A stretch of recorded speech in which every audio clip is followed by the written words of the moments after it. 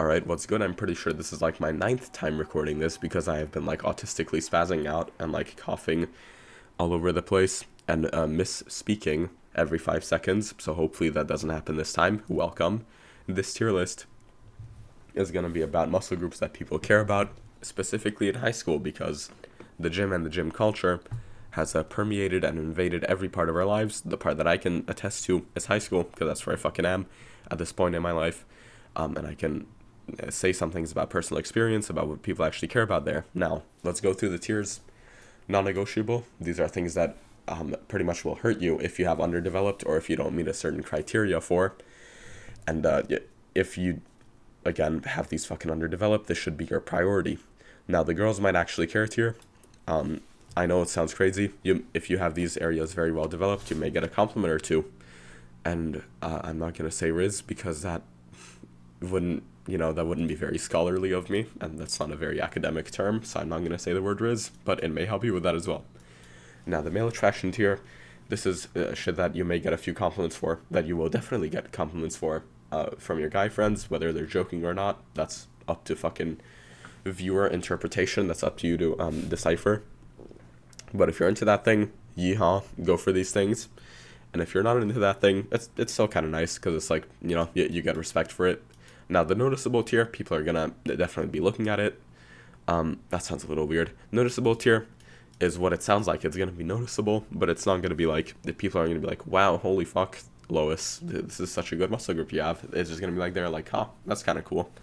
Now, the doesn't hurt tier is like, oh, yay, wow, you have this, that's so cool. But, but people aren't going to be noticing it it's only mostly gonna be you. It's like a muscle group maybe that you like have a certain passion for training. Sure, go fucking do that, but like it doesn't hurt.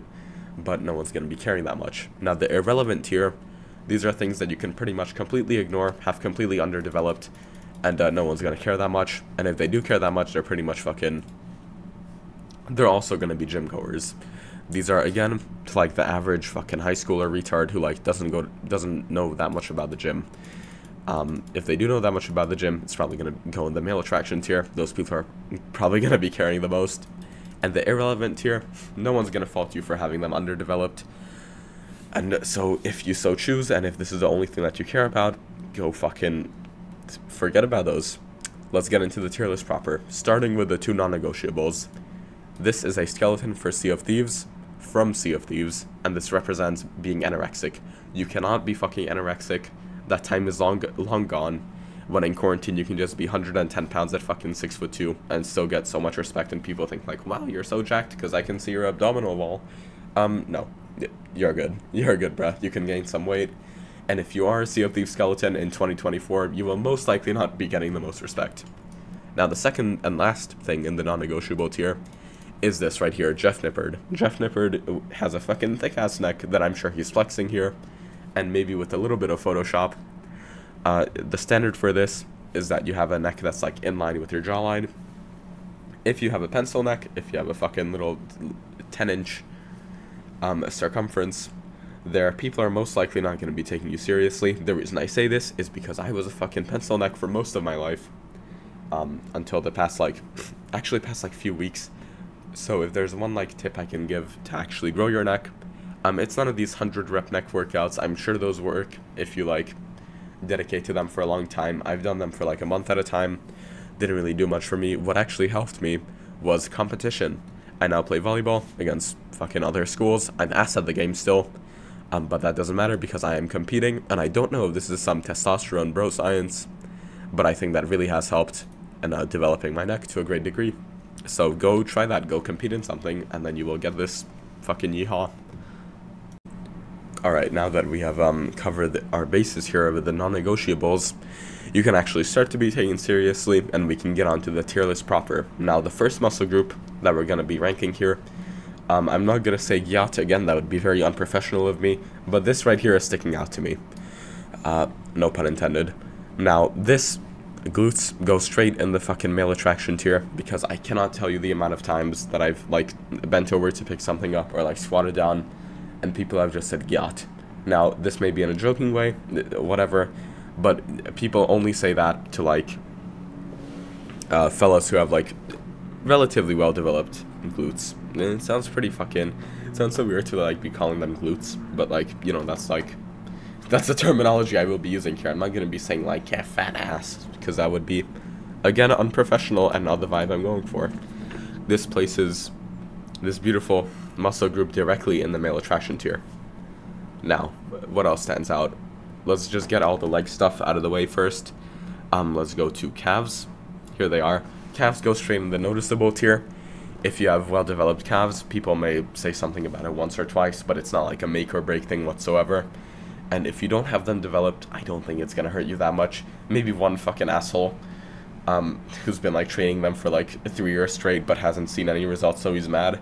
Uh, maybe one guy like that is gonna be like, "Hey, your calves are small," but like, are, are you really gonna care about what that guy has to say? I mean, yeah, train your calves, sure, but they are definitely not gonna make or break you, like these things up here, or like the nice fucking voluptuous.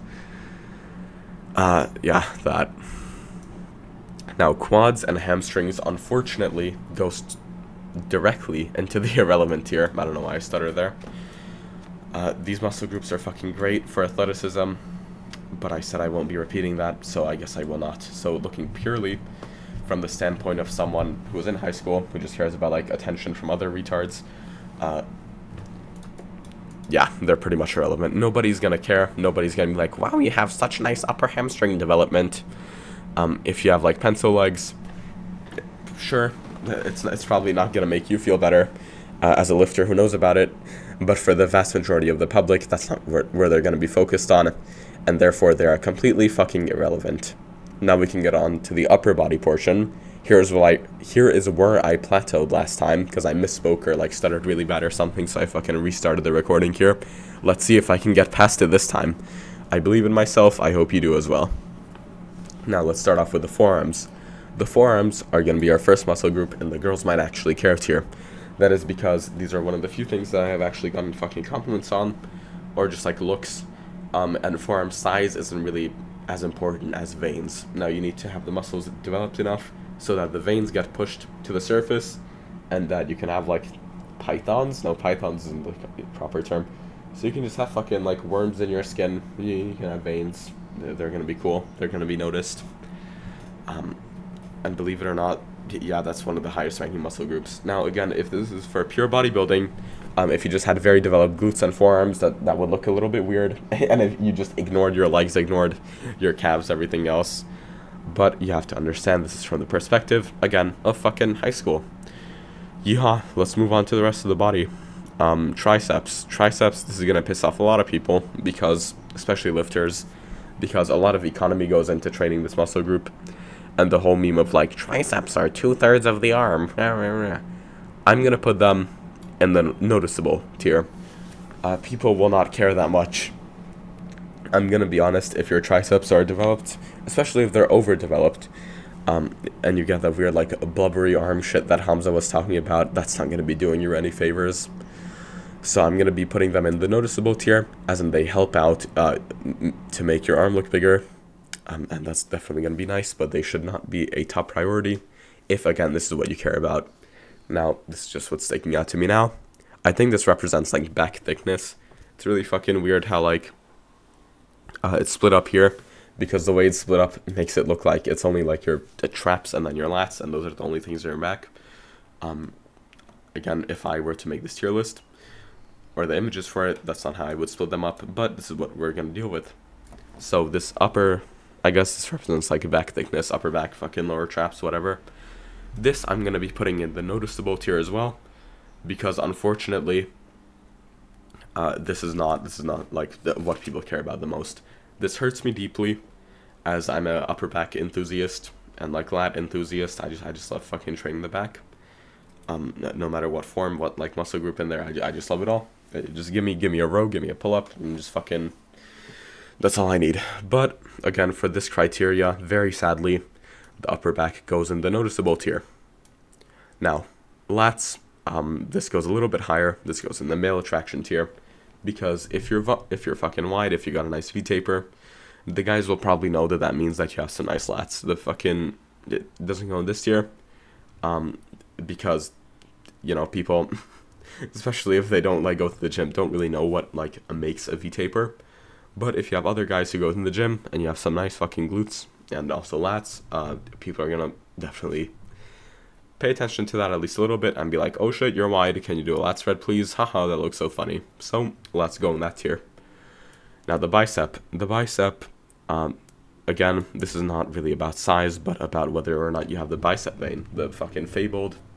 I don't know why that's just a straight line. Have you guys ever thought about that? That like all these other veins in your body run like perpendicular or some shit, or like they just run like a diagonal or really squiggly and shit, and then you just have the bicep vein, which is just straight. That's a little weird in my opinion, but that's not the point. The point is that if you have that bicep vein, that's definitely to stick out. You're to get a few compliments, and uh, that's definitely to help your chances with the people concerned, with the people that this tier concerns. So the forearm and bicep are to be way more important, in my opinion, than the tricep for at least getting people to fucking, you know, pay attention and like care about your arm development.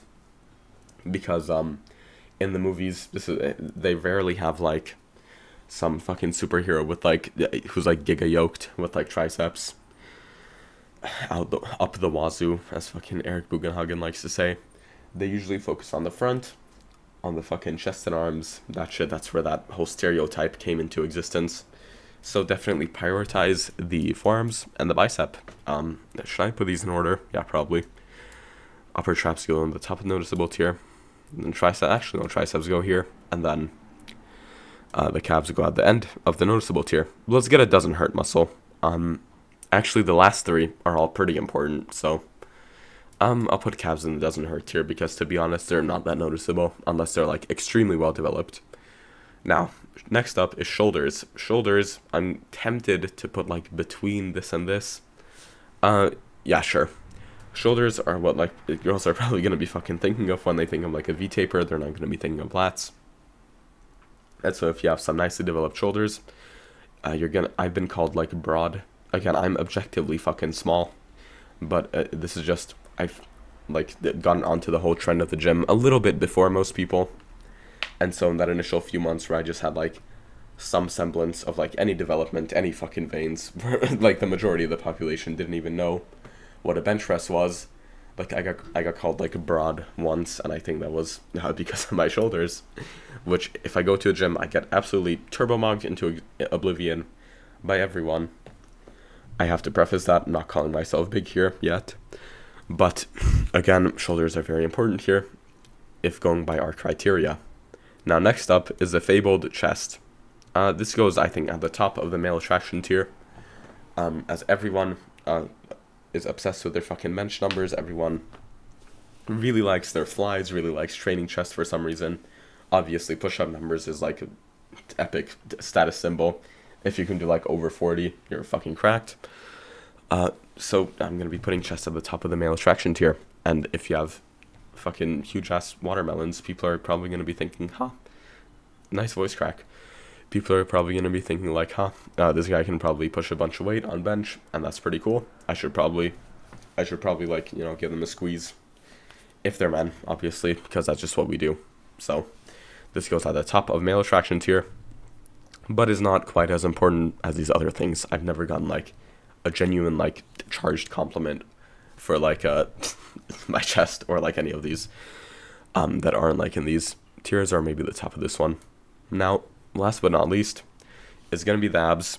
Uh, no surprise, this is the fucking poster child of like uh, muscularity and development.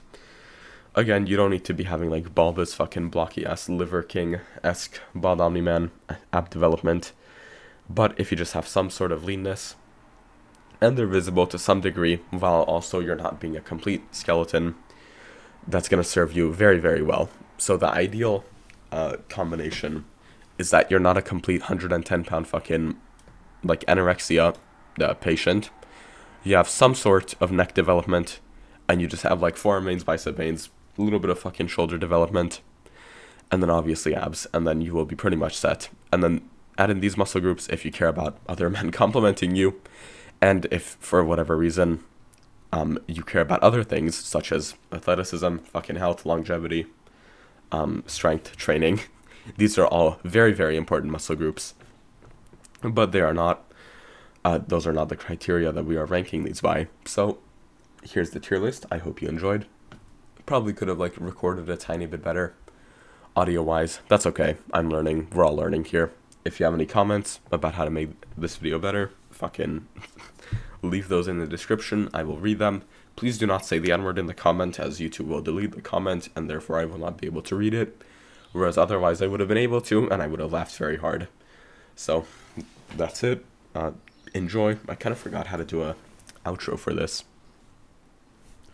Hope you enjoy this tier list. Hope you now have a better idea of what to prioritize, if these are your priorities, if like attraction from other people um, it is a priority in your life go fucking work on these, okay? And get some motivation somehow. Go fucking look at Jay Cutler chest workout. Go look at um, some random ass calisthenics person doing leg raises for your ab motivation. Go look at like, uh, you know, grip competitions for like veiny ass forearms or some shit. Go go live your life. go have fun. Train these muscle groups. I'm done yapping for the day. Um, I wonder, can I get out of this full screen? Yeah. Saw skeleton. Alright, enjoy. Goodbye. Peace.